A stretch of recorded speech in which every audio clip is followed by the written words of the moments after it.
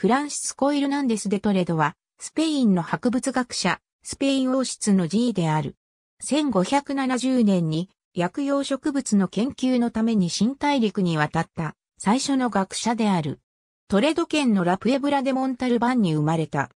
アルカラ大学で医学と植物学を学び、当時の習慣に従って医師としての名声を得るためにスペイン各地を旅して治療を行った。グアダルーペの修道院、病院やトレドの面倒さ病院で働き、薬用植物の研究で有名になり、古代ローマの博物学者、ガイウス・プリニウス・セクンデスの著作のスペイン語訳を行った。1567年にスペイン王、フェリペ2世の G となった。1570年に新大陸の薬用植物と動物の調査を命じられ、歴史上最初の新大陸の科学目的の調査を行った人物となった。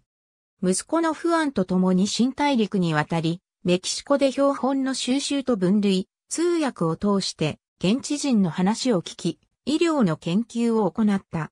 現地人の3人の画家、バプタイズド・アントン、ボルイザー・エリアス、ペドロ・バスケスに図版を描かせた。メキシコの3.000を超える植物に関して残した記録は貴重なものであり、当時のヨーロッパの植物の命名法では困難な分類を現地の呼び名を使って記述した。エルナンデス・デ・トレドが著書で取り上げた植物には、バニラ、トウモロコシ、カカオ、タバコ、唐辛子や多くの章を割いたサボテンなどが含まれた。エルナンデス・デ・トレドは、ラテン語で書かれた12巻の記録を執筆し、スペイン語やメキシコの言語であるナワトル語の版も作ろうとした。フェリペ2世には特別な想定の16巻の書籍として献じられた。ただし、スペインでの出版は許されず、エルエスコリアルの図書館に記録は保存された。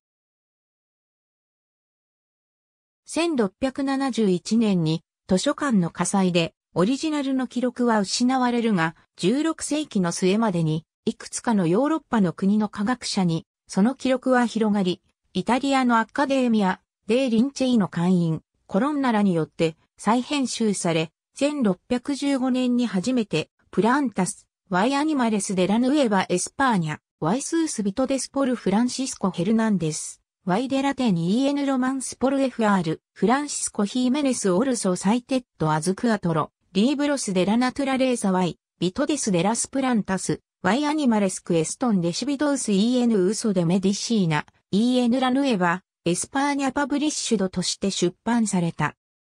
1790年にはスペインの植物学者オルテガによって新しく発見された記録をもとに Francisci Hernandi、medici atque historici Philippi 2, hispan et indiar, Regis, et totius novi orbis archiatri, opera, cum edita, tum medita, ad autobiographi fidem et jusu regio として出版された。エルナンデスが紹介したメキシコ原産の甘み香水木から発見された甘味成分は彼の名にちなみヘルナンデルシンと命名された。